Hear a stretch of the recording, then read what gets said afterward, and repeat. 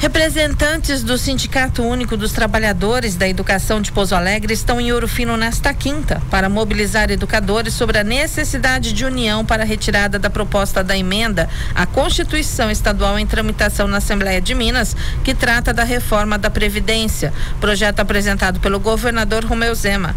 Mudanças na alíquota, tempo de contribuição e idade de aposentadoria são questionados pelos servidores.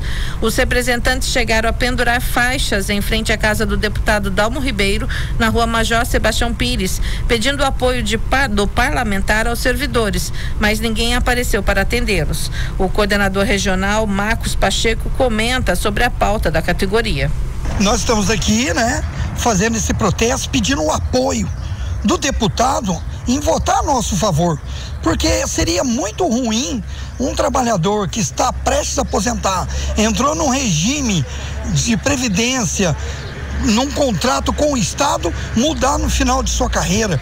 E é justo uma servidora da, da ASB que ganha 1.200 ter 14% do seu salário descontado para a sua previdência. E outra coisa, um agravante, o aposentado que já está aposentado pelo Estado voltar a pagar 14%, fora as, os outros tributos que serão também é, impostos dentro dessa contribuição.